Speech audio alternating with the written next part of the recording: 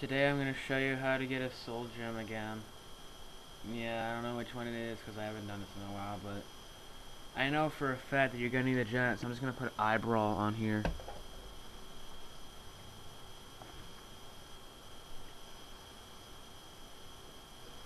And if you can hear some noise in the background, I'm sorry, but pretty soon, hopefully, that won't happen again. You're gonna need a giant to lift up this Kaos statue. And of course throw it. That'll be a little teleporter. If there isn't, you might want to check your game. Teleport.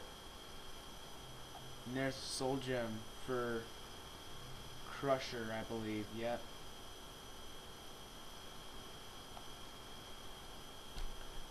Rock sliding out for Crusher. Thanks for watching. More to come. Bye.